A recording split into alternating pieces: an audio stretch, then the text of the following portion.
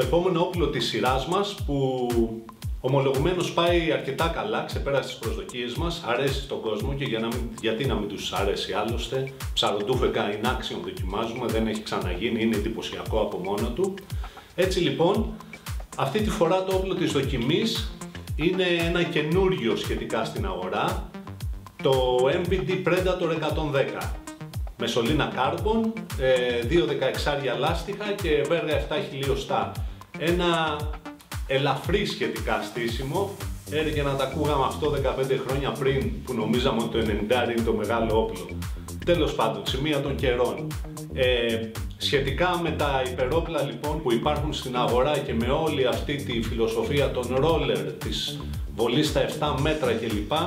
Ε, αυτό το όπλο θα μας δείξει τι μπορεί να κάνει ένα όπλο που είναι συμβατικό και υπακούει ακόμα στη φιλοσοφία των παλιότερων όπλων. Ε, η δοκιμή του έγινε στη Φλόριντα σε αρκετά καλές συνθήκες από άποψη παρουσίας ψαριών, ωστόσο πολύ κακές από άποψη των υπολείπων, γιατί σχεδόν όλες τις μέρες είχε θολούρες, ρεύματα και όλα τα σχετικά. Για πάμε στη Φλόριντα να δούμε.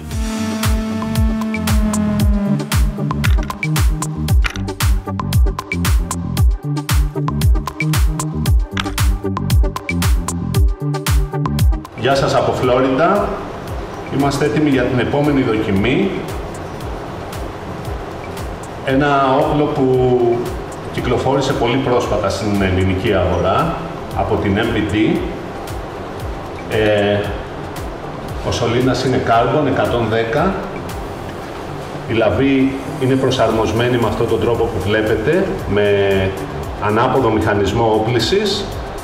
Έχουμε βάλει το μουλινέ της MBD, το Soft Touch, το Blue και μία βάση κάμερας πάλι της MBD. Το setup είναι δύο 16 κομμένα με συντελεστή 3,1 και 7 βέργα μονόφτερη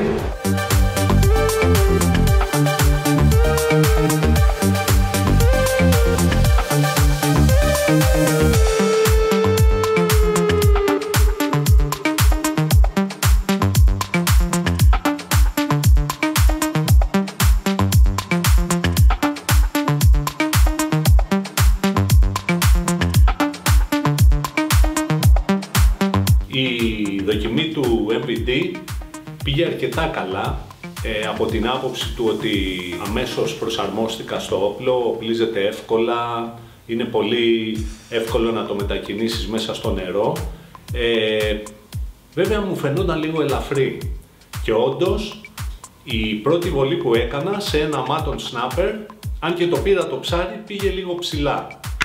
Ε, πάντα δίνω σημασία σε τέτοιες λεπτομέρειες Οπότε η πρώτη μου σκέψη και αυτό που έκανα όταν βγήκα έξω ήταν να προσπαθήσω να προσθέσω λίγο έρμα στην κεφαλή όπου το όπλο είναι πιο ελαφρύ. Ε, βρήκα λοιπόν μολυβάκια από κάθετες, από ψάρμα επιφανείας και του πρόσθεσα 25 γραμμάρια στην εσοχή που έχει στην κεφαλή. Ε, μετά από αυτό το όπλο άλλαξε εντελώς χαρακτήρα. Όντως, ε, το πρώτο ψάρι που βρήκα μπροστά μου, ένας Red Grouper, ένας ροφ, ένα ροφοειδές που μοιάζει πολύ με τους δικούς μας ε, ροφούς, ε, έμεινε στον τόπο. Και από εκεί και πέρα άρχισα να χτυπάω πολλά ψάρια, το ένα πίσω από το άλλο, όλα με καλές βολές, με καλύτερη βολή θα έλεγα, μία βολή που έκανα σε ένα Yellow Jack, ένα είδος συγγενές με το δικό μας μαγιάτικο, ε, το οποίο ξεράθηκε με εντυπωσιακό τρόπο. Έτσι λοιπόν πίστεψα πάρα πολύ στο όπλο, συμβαίνει αυτό το πράγμα, όταν αρχίσεις και κάνεις καλές βολές με ένα όπλο, πιστεύεις αυτό και από εκεί και πέρα είναι ένας κύκλος που προσθέτει. Όσο πιο πολλά ψάρια πιάνεις τόσο πιο πολύ πιστεύεις στο όπλο. Και, το, και έγινε σαν προέκταση του χεριού μου, σαν το δικό μου όπλο και το ψάρευα μόνο για μερικές ημέρες. Δεν θα ξεχάσω το τελευταίο ψάρεμα που έκανα μαζί με μια παρέα Έλληνες φίλους που είχαν έρθει. ψαρεύαμε ένα βαθύ ναυάγιο που κατά κανόνα κάνει χοντρά ψάρια, κάνει μεγάλους ροφούς, κάνει κουμπέρα snappers, έχει καρχαρίες, είναι γενικά το περιβάλλον πολύ απαιτητικό και όλοι βούτυξαν εκεί με τα, μεγάλα τους, με τα πολύ μεγάλα τους όπλα. Εγώ έχοντας όλη την αυτοπεποίθηση των ημερών πήρα στα χέρια μου το Predator 110 και όντως στην πρώτη βουτιά μου, αρκετά βαθιά, κατάφερα να κάνω μια καλή βολή σε έναν Black Grouper που θεωρείται το πιο νόστιμο, το πιο απαιτητικό, το τρόπαιο της περιοχής. Το ψάρι έμπλεξε στο ναυάγιο και μας πήρε δύο-τρεις βουτιές, στράβωσε τις βέργες, στάγαν όλα χάλια, αλλά τελικά το πήραμε.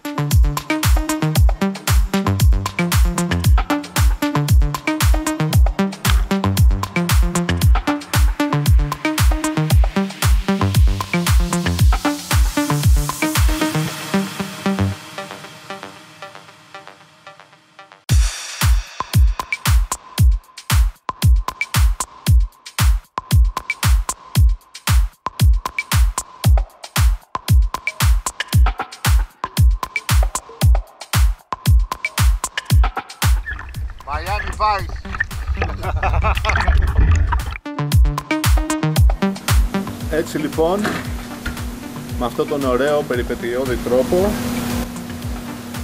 χτυπώντας ροφούς μέσα στα ναυάγια του Μαϊάμι, τελειώνει αυτή ένα ακόμα κομμάτι των Spear Gun Reviews in Action.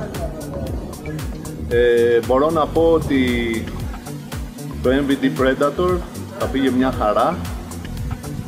Ε, με λίγες, πολύ λίγες μετατροπές όπως η προσθήκη ε, έρματος μπροστά έγινε ένα πολύ στιβαρό και ελαφρύ ταυτόχρονα πολύ εύκολος στις μετακινήσεις ε, ακριβές στις βολές. Ε, χτύπησα πάρα πολλά ψάρια. Εδώ στο, σε αυτές τις θάλασσες είναι εύκολο να δοκιμάσεις όπλα γιατί ε, έχει πολλά ψάρια και αποδείχθηκε ότι δεν χρειάζονται γίγαντες για να χτυπήσει μεγάλα ψάρια. Με αυτό το ελαφρύ διλάστιχο ε, χτύπησα ψάρια από 1 έως 20 κιλά χωρίς κανένα πρόβλημα. Αυτό που χρειάζεται μόνο είναι να έχεις λίγο καλή τεχνική και να πας λίγο πιο κοντά.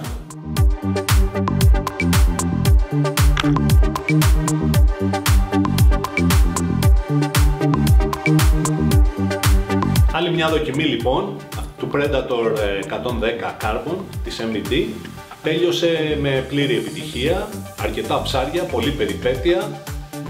Βέβαια τέλειωσε και χωρίς το όπλο στα χέρια μου, μια και το κράτησαν οι φίλοι μου και τώρα θα πρέπει να μιλήσω στο φίλο μου το Μανώλη να μου στείλει άλλο ένα γιατί μου άρεσε και εμένα πολύ και δεν μπορώ να το ψαρεύω μόνο όταν πηγαίνω στην Αμερική.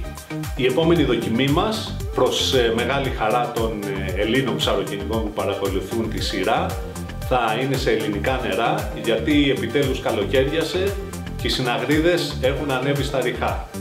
Θα τα πούμε εκεί.